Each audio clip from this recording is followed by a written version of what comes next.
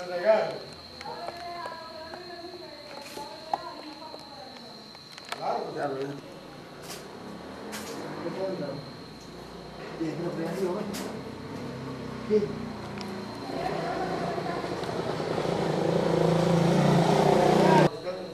un acuerdo yo. Bien, te la foto.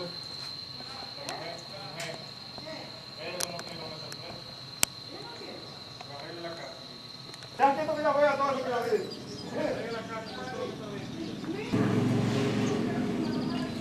Quiero una foto, Junior, voy.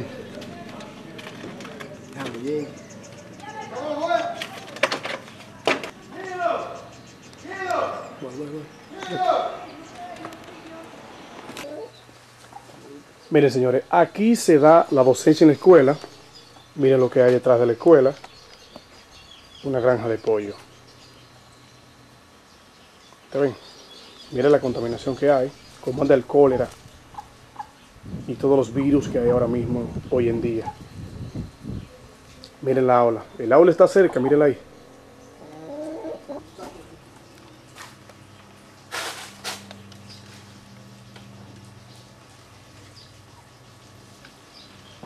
Marilyn Quesada, Usted es la dueña de la casa. sí. ¿Qué tiempo tienen ya los estudiantes partiendo la docencia ahí? Adiós un año y pico. Un año para dos años. ¿Y en qué acuerdo fue que llegaron con el pago? Un año no, dos años tienen. ¿Cuál ¿En qué acuerdo? No, el primer año nosotros se la prestamos para que dieran clase gratis, que porque nos la cogieron prestada por dos meses nada más. Y después eh, nunca terminaron la escuela. Entonces después dijeron que no, que, que ellos se iban a quedar ahí dando clases. Y nosotros le dijimos que se quedaran dando clases. Pero después, cuando vino el próximo año, nosotros le dijimos que nosotros necesitábamos la casa porque la íbamos a alquilar. Y quedaron en un acuerdo que cada padre iba, cada casa iba a pagar 100 pesos. Por, por cada casa que hubiera, que hubiera de niños, iban a pagar 100 pesos. Entonces no fue así. Ahora ellos no están pagando lo que dan es 2 mil pesos y 3 mil pesos. Y nosotros necesitamos la casa. Entonces, para el próximo año, si no se, para este año que se inicia ahora, si no se ha terminado la escuela, con- No, para afuera van.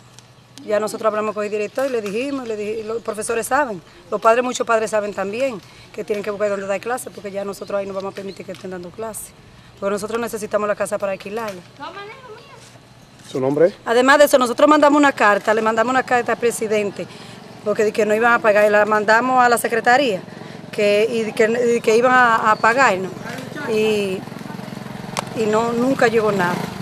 Nos hicieron esa promesa y nunca llegó nada. Entonces ahora nosotros queremos la casa porque la vamos a alquilar, la necesitamos. Entonces así no se puede, señor gobernador. Queremos que se acelere, que se haga de, de- de paso gigantesco, que se le trabaje más. Vean la forma de la que habla la señora, ya los niños no van a tener en este año en donde recibir la docencia. Y entonces ya allí tienen los muchachos 12 días parados, no están trabajando, los haitianos que están trabajando ahí. ¿Por qué? Porque no tienen cemento. Eso se cae de su peso, señor gobernador. Traten de hacer la cosa mejor. Pero de lo contrario, los niños lo van a sacar de la casa. Ya los niños no tienen en dónde recibir la docencia. Será bajo de una mata que la vamos a recibir. En donde tenemos un presidente que lo elegimos por 12 años y tiene ya 4 por, 4 por 3 son 12 y todavía no ha terminado ese trabajo. Está bueno, señor presidente.